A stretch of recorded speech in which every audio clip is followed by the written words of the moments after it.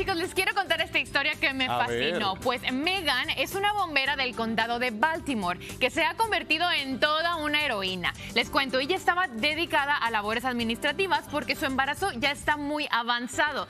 Sin embargo, sufrió un choque, un accidente Wow. y eso, bueno, le- la puso ahí en, en- En peligro, En pues. peligro, claro. Ella logró salir del carro y se puso a ayudar a la otra persona que estaba atrapada en el otro carro que quedó volteado. Ella no se preocupó o no puso eh, primero, ¿no? Su embarazo. Ella dijo, yo voy a ayudar a la otra persona.